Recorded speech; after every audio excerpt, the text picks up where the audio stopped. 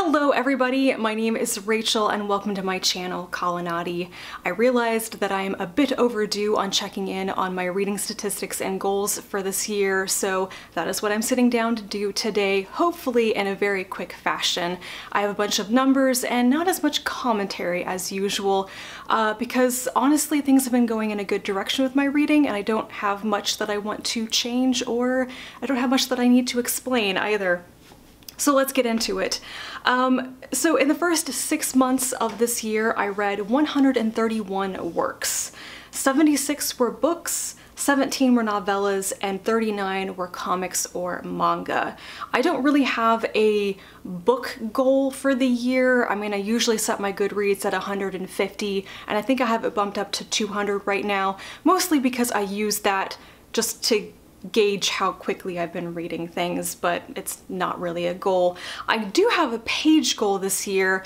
Um, I've been using the StoryGraph's feature for this, and my page goal is 65,000 for the entire year, and at the end of June, I was up to 33,000 roughly, so I am definitely on track for that one as well. Of those 131 works that I read, 37 were by male authors, 81 were by female authors, 3 were by both, and 10 were by non-binary authors. And I do use the non-binary category to hold both non-binary and gender fluid and gender queer and all of that. Just to simplify things a little bit. Um, I am actually very happy about this. Um, I didn't set out to intentionally read more books by non-binary authors this year, but the fact that I have read more than I ever have before um, makes me very happy. So yeah, I feel like I'm just naturally picking more of them up and I'm very happy about that. For genre, pretty much the same story as my first check-in this year. My most read genres so far are fantasy at 25%, science fiction at 23.6%, nonfiction is 13.7, and romance is 10. Um, fantasy is definitely pulling out into the lead a little bit, um, whereas in the past I've usually worked pretty hard at keeping science fiction as my most read genre, but that's just not where things are, are naturally falling out this year, and that's fine. Um, I've also read more nonfiction since the last update, which I'm happy about. Um, there's a whole bunch of other genres that I've read from as well, uh, but honestly at this point what I would really like to read more of is poetry, poetry and drama. Um, I've had a lot of success in previous years at reading more poetry and kind of figuring out what I like and, and poets that I'll come back to again and again. And I just haven't done much of that this year. So I would like, I would like to seek out some more poetry to read in the second half of this year. Uh, for sources, also pretty much the same. 31% of what I read came from sources that I owned or I paid for. These are things like my book purchases, gifts, and my audiobook subscription.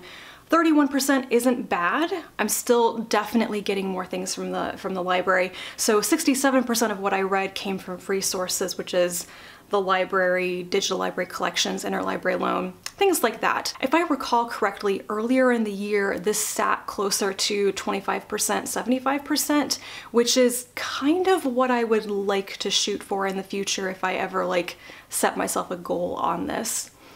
Um, moving on, it's going to be a really good year for reading translated works. 15.3% uh, of what I've read has been translated, and this is up from 9.5% at the three month mark. So I'm actually on track to have my best year ever for reading translated works. I think my, my record was 17 or 18% back in probably 2018. Uh, so I'm very happy about this. On the other hand, my rereading has been going abysmally. 3% of what I've read so far this year have been rereads. I'll talk about this more in a little bit when I get to the, the goal about that one. So yeah, speaking of goals, let's talk about these four reading goals. The first one was to track my book acquisitions and read them in a timely fashion. I've purchased 54 books so far this year and I've only read 72% of them. My goal is 80% by the end of the year. I think it needs to be closer to 90%, honestly. So I'm, I'm trailing behind my actual goal on reading these in a more timely fashion, um, but it's not terrible yet. Um, mostly what happened is that I was doing a really good job until June and then I got a bunch of books in June and I just couldn't read them all right away, you know? Um, so my rate of acquisition has been a bit too fast for my actual reading rate. Um, I've also spent a little bit more on books by this point in the year than I thought I should have. I spent $787 on books so far this year. That doesn't include a couple of pre-orders that haven't actually arrived yet. But this is also isn't a terrible number. It wouldn't be a terrible number for the entire year, but the fact that I've already hit that almost 800 by halfway through the year. I'm not super happy with that.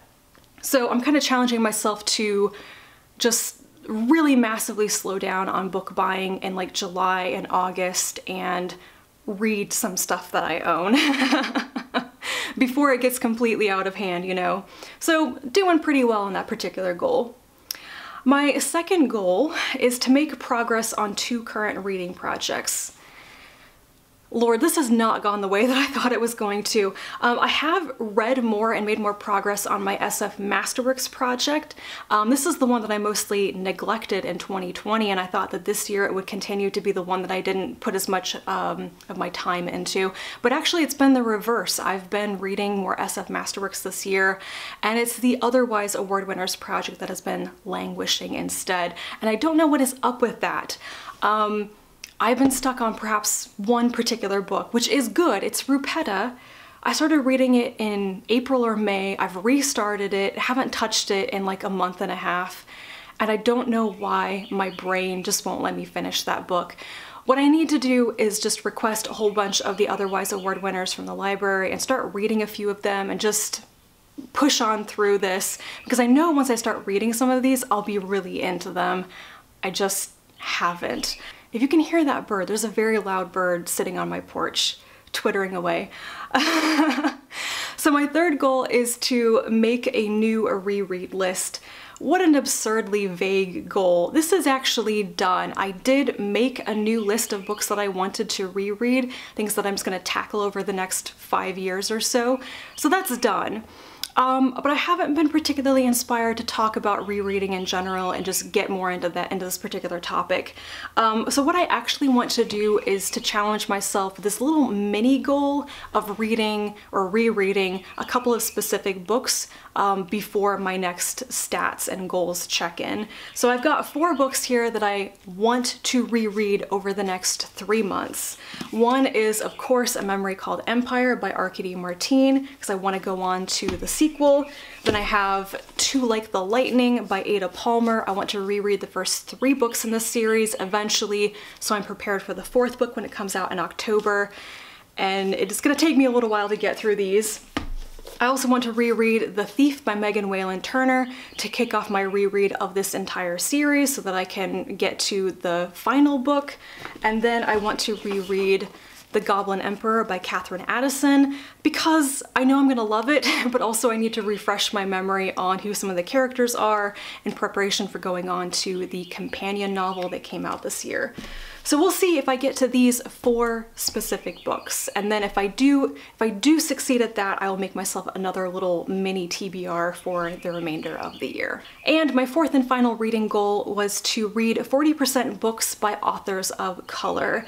And I've also been doing pretty darn well at this one. I'm surprised, but I've also been checking in on it monthly for myself, like keeping track of it almost like week by week just to make sure that I'm not like really veering off in a direction I don't like.